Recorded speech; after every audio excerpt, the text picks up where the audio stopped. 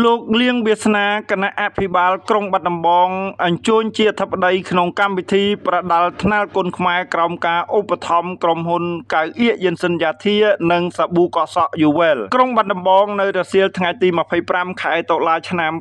2024លោកលៀងវាសនាគណៈអភិបាលក្រុងបាត់ដំបងអញ្ជើញជាអធិបតីក្នុងកម្មវិធីប្រដាល់ថ្នាលគុណខ្មែរជាមួយក្រុមហ៊ុនកៅអៀកយិនសិនយ៉ាធា និងសាប៊ូកសក់យូវែលបានចូលរួមឧបត្ថម្ភនៅក្នុងកម្មវិធីប្រកួតប្រដាល់ថ្នាលគុនខ្មែរនៅបរិវេណ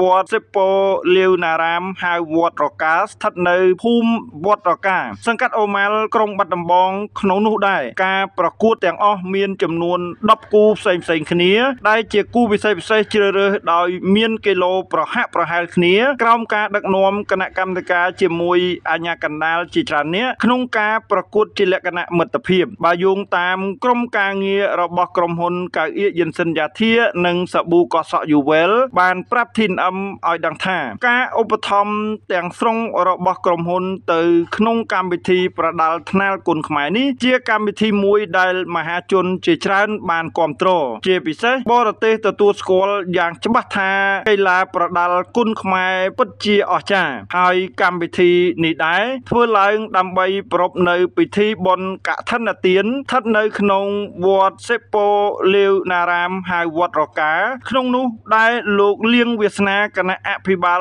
ក្រុងបាត់ដំបងក៏បានឧបត្ថម្ភជារង្វាន់លើកទឹកចិត្តមួយចំនួនទៅដល់កីឡាករគ្រប់រូបបន្ទាប់ពីប្រកួតចប់ទឹកជាងនេះទៅទៀតលោកអភិបាលក្រុងបាត់ដំបងសូមថ្លែងនៅអំណរគុណយ៉ាងជ្រាលជ្រៅបំផុតចំពោះក្រុមហ៊ុនកៅអៀកយិនសិនយ៉ាធា និងសាប៊ូកសក់យូវែលដែលចូលរួមឧបត្ថម្ភចូលរួមចំណែកធ្វើឲ្យកម្មវិធីទាំងមូលប្រកបដោយរលូនពីដើមដល់ចប់ TNM ទូរទស្សន៍អនឡាញដំបូងគេនៅកម្ពុជា